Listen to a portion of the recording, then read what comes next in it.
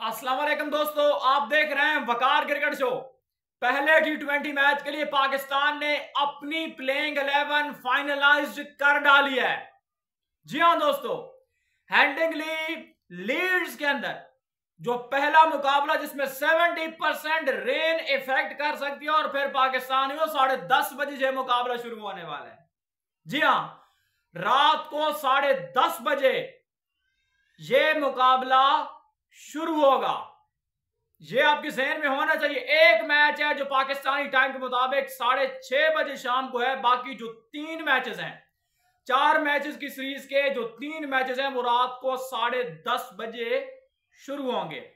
برا جناب، پہلے میچ کے اندر رین ایفیکٹ کر سکتی ہے، لیکن جو پاکستان کی پلینگ الیون ہے، وہ کچھ اس طریقے سے اپنا جو رخ ہے، وہ دکھا رہی ہے۔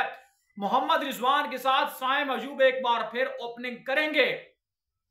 کرسٹن اور بابی بادشاہ ٹرسٹ کر رہے ہیں سائم ایوب کے اوپر۔ جی ہاں کہ یہ بندہ اس کے پاس نیچرل ٹیلنٹ ہے، تو ہم جناب سائم ایوب کو ابھی بھی یوٹیلائز کریں گے۔